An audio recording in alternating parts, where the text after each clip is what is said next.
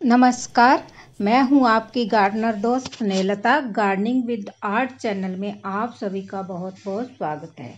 जैसा कि फ्रेंड्स आप देख रहे हैं, ये मैं, मेरे हाथ में आम की गुठलियाँ हैं और कुछ मैंने लिए हैं सेब के बीज। तो इनसे मैं आज क्या बनाने वाली हूँ आप सोच भी नहीं सकते।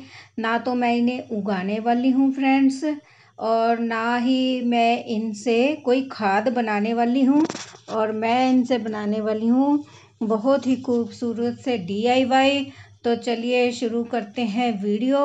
और फ्रेंड्स, आखिर तक वीडियो ज़रूर देखना क्योंकि जो इतने मैंने अलग अलग डिज़ाइन के डीआईवाई बनाए हैं ना आम की गुठलियों से, आप सोच भी नहीं सकते। और बहुत ही खूबसूरत से कोई पैसा पाई इसमें नहीं लगता। और फ्रेंड्स, मैंने अपने पिछले एक वीडियो में कलर्स मिक्स करने बताए हैं कि पाँच कलर्स के साथ ही हम कैसे अच्छे से पेंटिंग कर सकते हैं और कलर मिक्स कर करके अलग अलग कलर बना सकते हैं। तो फ्रेंड्स, वो वीडियो आपने अभी तक नहीं देखी तो मैं लिंक डिस्क्रिप्शन बॉक्स में डाल दूँगी, उसे भी ज़रूर चेकआउट कीजिएगा।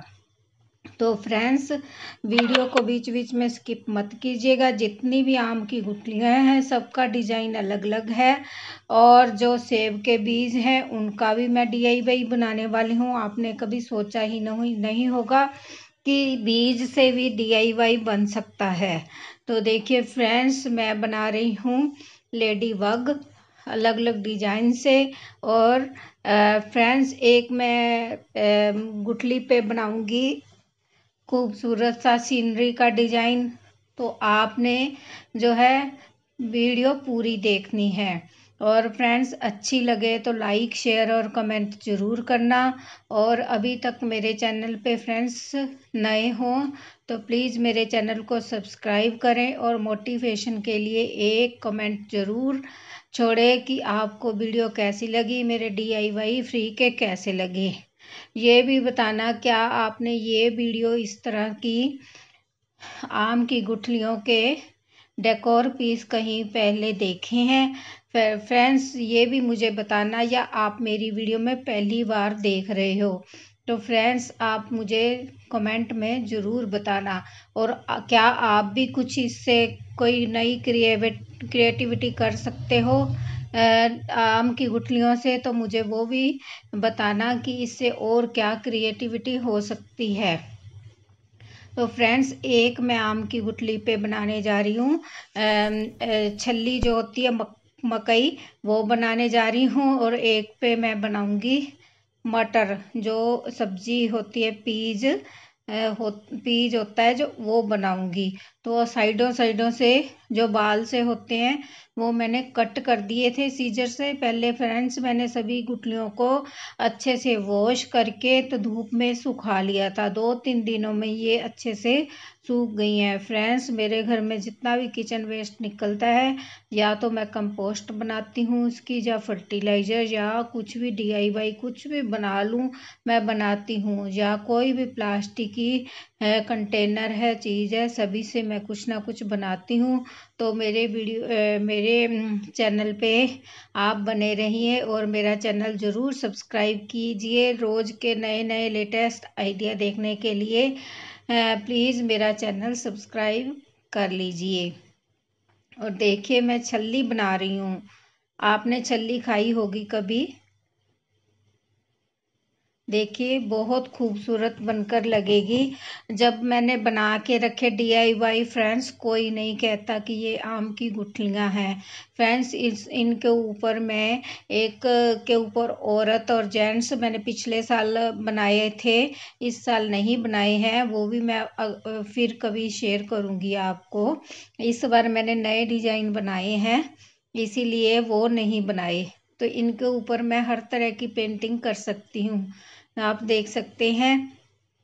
बहुत ही सुंदर बनकर डी आई भाई आएँगे। अगर आपके पास, आसपास कहीं पे भी आपको पत्थर नहीं मिल रहे बड़े बड़े पत्थर जो स्टोन होते हैं, उन पे पेंटिंग करके भी हम डेकोरेट कर सकते हैं अपने गार्डन को। बट कई बार कई बार ऐसा होता है कि फ्रेंड्स स्टोन हमारे सिटी में आसपास नहीं मिलते, हमारे को बाज़ार से ख़रीदने पड़ते हैं। इसलिए आम की गुठलियों को हम अगर डेकोर पीस के रूप में यूज़ करते हैं तो कोई बुरी बात नहीं है। ये किसी को नहीं पता चलता कि ये आम की गुठलियाँ हैं। बनने के बाद आप ज़रूर कहोगे कि बहुत अच्छा आइडिया बताया है। तो देखिए फ्रेंड्स, अब मैं इस पे ब्लू कलर, लाइट ब्लू बनाया है। मैंने इसमें वाइट मिक्स करके तो इससे मैं इसका ये दूसरे कलर का लेडी बग बनाऊँगी। जितने भी मैंने लेडी बग बनाए हैं, सब, सभी का डिज़ाइन कलर अलग अलग है। तो बहुत सुंदर, नहीं, ये मैं सीनरी बना रही हूँ। ऊपर से झरना आ रहा है, बहता हुआ। लेडी बग भी एक, मैंने स्काई ब्लू का बनाया था, वो पीछे निकल गई है, मुझे लग रहा है वीडियो। तो देखिए, ये झरना बहता हुआ आ रहा है। ना तो फ्रेंड्स मैंने ड्रा ड्राइंग की है पेंसिल से, कुछ भी ड्रा नहीं किया। मैं डायरेक्टली कलर से ही पेंट से ही बनाती चली जा रही हूँ। जो भी मेरे दिमाग में क्रिएटिविटी आती है, वही मैं करती रहती हूँ। फ्रेंड्स मैंने कहीं से कोई आइडिया नहीं देखा है। मैं बस अपने दिमाग से जैसे पहाड़ी एरिए पे जाते हैं, कुछ दिखाई देता है, पहाड़ पीछे बर्फ़ से ढके हुए। वही मैं सीनरी इस आम की गुटली पे बनाने जा रही हूँ। तो बनने के बाद बहुत सुंदर लगेगा। जब हम इसको डेकोरेट करते हैं गार्डन में तो गार्डन के का लुक ही अलग लगता है। साथ में फ्रेंड्स, इसका ये फ़ायदा है कि जब फ्री की चीज़ होती है, वो हमें और भी ज़्यादा अच्छी लगती है। जब बहुत सारे पैसे लगा के गार्डन को डेकोरेट किया तो क्या किया? फ्री में करो डेकोरेट आप अपने गार्डन को। अब मैं ब्लैक कलर से इसको हाईलाइट कर रही हूँ। आप देखना कितना सुंदर लगेगा। इस दोनों साइड में छोटे छोटे ट्री का लुक दे रही हूँ, ट्री बना रही हूँ। जैसे दूर से पेड़ दिखते हैं सीनरी में कहीं पहाड़ी एरिए पे जाते हैं तो वही लुक देने जा रही हूँ। बीच में, सेंटर में से बहता हुआ नदी या झरना कुछ भी कह लो, वो बनाया है मैंने और ऊपर को मैंने पहाड़ बनाऊँगी फ्रेंड्स।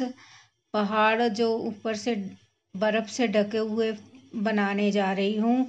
आप देख सकते हैं, आम की गुठली का बिल्कुल भी नहीं पता चलता कि ये आम की गुठली है। अगर मैं बिना बताए आपको पेंट करके दिखाती तो आपने बिल्कुल भी नहीं कहना था कि ये आम की गुठली है। तो कितनी अच्छी सीनरी बनेगी फ्रेंड्स। तो और फ्रेंड्स जो सेब के सीड्स थे, उनसे भी मैं बहुत सुंदर, देखिए मैंने बहुत सुंदर सा ये फ्लावर्स बनाए हैं। ये क्रीम वाली डिब्बी है निविया क्रीम की। इस पे फ्रेंड्स कलर इसका पिंक ही था डिब्बी का। तो मैंने इस पे किसी तरह की पेंट नहीं की। देखिए कितने सुंदर डीआईवाई लग रहे हैं। आपको कैसे लगे, मेरे को ज़रूर बताना कमेंट में। देखिए, कोई नहीं कहता कि ये आम की गुटलियाँ पड़ी हैं। कहीं भी रख लो, कोई फेयर ही गार्डन में रख लो, कैसे भी रख लो। देखिए, मैं अलग अलग डिज़ाइन से आपको रख के दिखा रही हूँ। Thank you thank you for watching